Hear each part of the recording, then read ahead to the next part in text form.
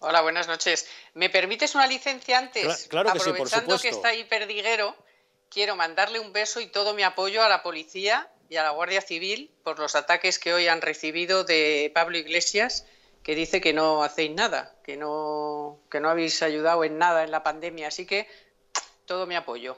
Gracias, Carmen. Bueno, ya sabes, Carmen, que Pablo Iglesias era el que se emocionaba cuando veía cómo pateaban la cabeza a un policía. Claro, pero ahora le encanta verlos en su casa ahí a los guardias civiles por decenas. Cuando se trata de proteger su domicilio, entonces sí que recurre a las fuerzas y cuerpos. ¿eh? Bueno, perdón, una licencia era. Al contrario, que navajas encantados porque además suscribimos lo que acabas de decir y luego tendremos ocasión de charlar con Perdiguero al respecto. Pero dinos, Carmen, ¿qué te parece? Para empezar desde el principio, eso de que... Eh, la Fiscalía General del Estado le diga al Supremo, oiga, no acepten ustedes a trámite ninguna querella contra el Gobierno? ¿Cómo lo ves? Pero la fiscalía de quién depende, ¿eh? ¿Eh? Pues eso. ¿Eh? ¿Eh? Pues eso. ¿Eh? Pues eso. Vamos a ver. La fiscalía, desde que está Dolores Delgado, depende clarísimamente del gobierno, ya lo sabíamos, pasó directamente del Ministerio de Justicia, es una militante socialista, es la repera de que me encantan los qué buen negocio van a ser esos prostíbulos que vas a poner en marcha. Esta mujer es la que está al frente de la Fiscalía y desde ese momento todos sabíamos que la Fiscalía iba a trabajar de parte.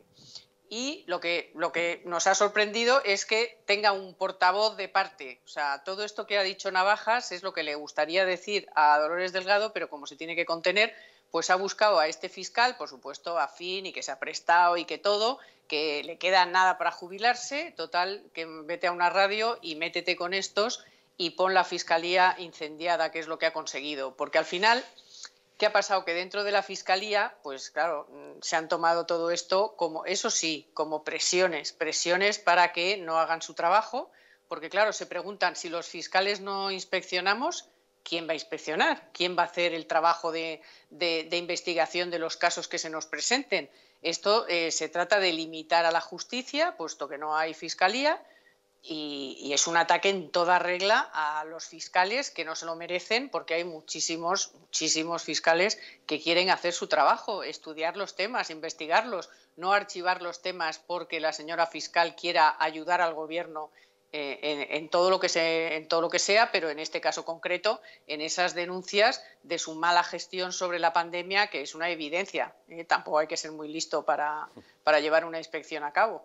Es que esto es tremendo, Carmen, porque vamos a ver, resulta que Luis Navajas no solamente niega que le hayan presionado para proteger al gobierno, sino que encima señala a dos compañeros, a Madrigal y a Cadena, diciendo que los que trataron de presionarle fueron ellos. Es decir, señala a otros como diciendo que las presiones vienen, por otro lado, a la contra de los intereses del gobierno.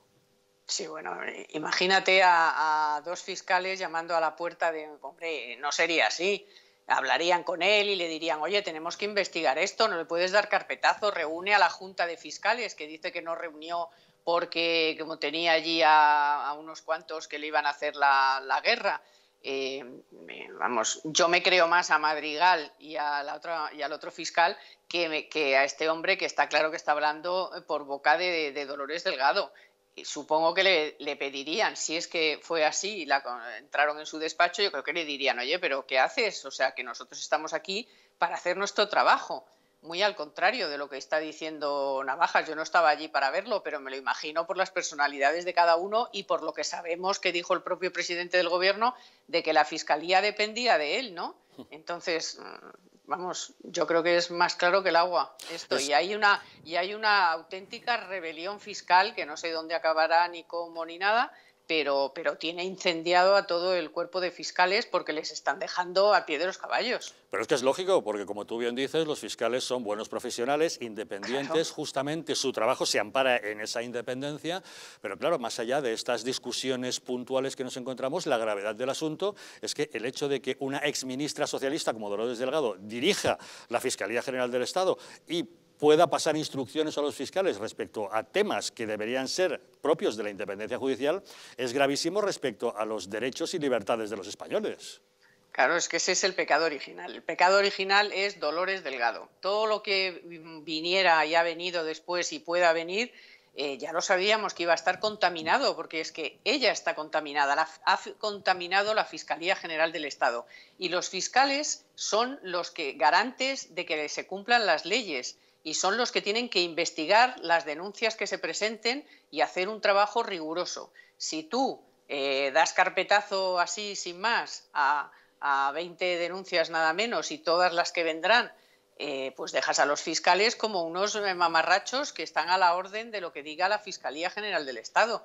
Y eso pues no les ha gustado y no creo que les guste mucho en el futuro en todo lo que pueda venir, que van a venir muchas cosas, porque aquí no solamente estamos hablando de la gestión propiamente dicha de la pandemia, sino que estamos hablando de compras fake, de contratos millonarios a empresas que eran unas empresas que no se dedicaban a eso, empresas que ni existían, empresas que habían sido denunciadas previamente por otros trabajos, eh, comisiones que no sabemos qué ha pasado con eso, eh, mascarillas fake, todo falta de material. O sea, mm, te quiero decir que va a venir, mm, van a venir muchas cosas ¿eh? y entonces va a ser muy complicado que puedan tapar todo eh, yo creo que han mandado a este un poco para, darles el mensaje a los fiscales de que no se callen porque sus nombres van a ser eh, puestos en la picota.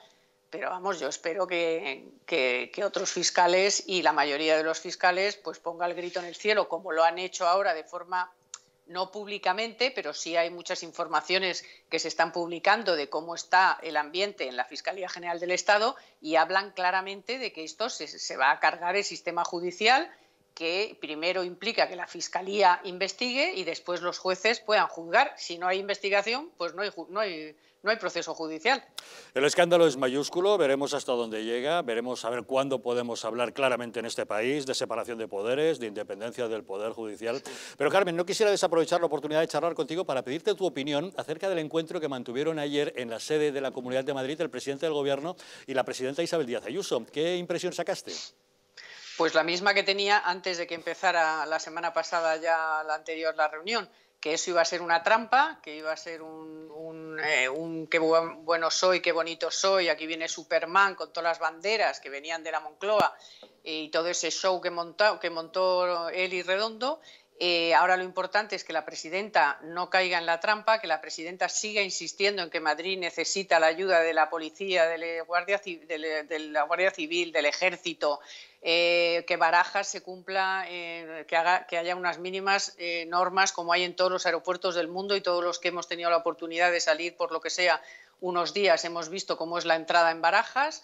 que es un coladero absoluto, por más que digan que es un porcentaje mínimo, entra muchísima gente por barajas y eso se expande como la pólvora. Y luego, lo más importante, o sea, estás haciendo todo ese show y mientras mandas a tu jauría a que ponga verde Ayuso, a que te caliente la calle, a que te destroce eh, todo lo que digas sobre cualquier cosa, a que te hable de pobres y ricos, que, te ponga en la picota, que es lo que están haciendo eh, estos esbirros, Lastra y Simancas y Ábalos, y eh, te, te, convoque incluso una manifestación que luego con la boca pequeña dices, hombre, no vayáis y tal, pero que sabemos que por detrás lo están calentando todo eso, pues hombre, mm, vamos a ver, verde y con asas, que dicen en, mi barrio.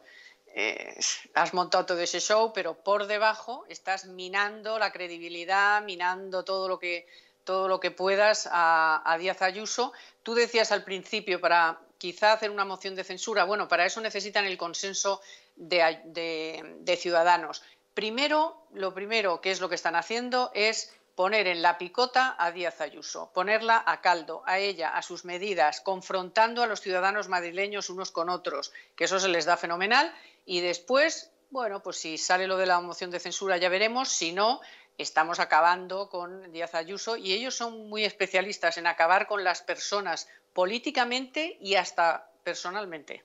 Eso es lo lamentable, es la nueva política a la que nos están acostumbrando estos tiempos. Carmen Tomás, muchísimas gracias como siempre por acompañarnos en Los Intocables. Buen programa. Hasta luego, gracias.